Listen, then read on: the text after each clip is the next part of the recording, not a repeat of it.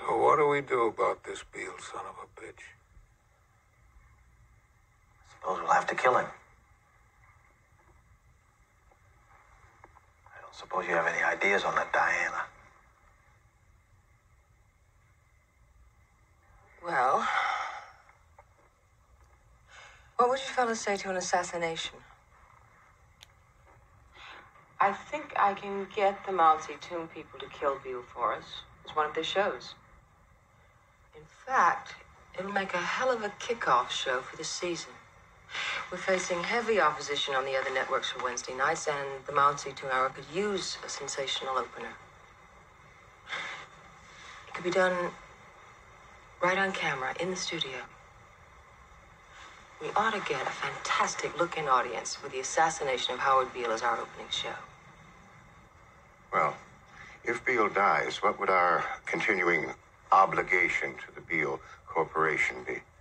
I know our contract with Beale contains a buyout clause triggered by his death or incapacity.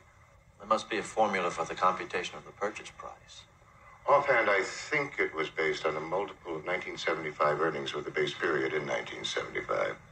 I think it was 50% of salary plus 25% of the first year's profit, multiplied by the unexpired portion of the contract. I don't think the show has any substantial syndication value. Would you say, Diana? Syndication profits are minimal. We're talking about a capital crime here. The network can't be implicated.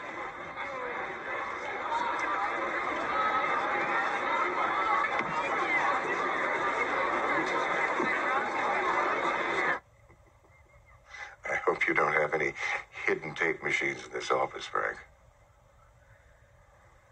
Well, the issue is shall we kill Howard Beale or not? I'd like to hear some more opinions on that.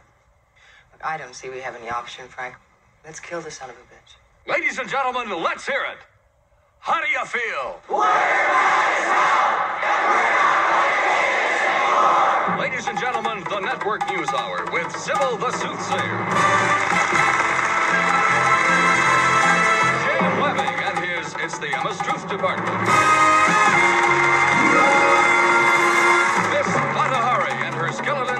closet. Another segment of Vox Populi.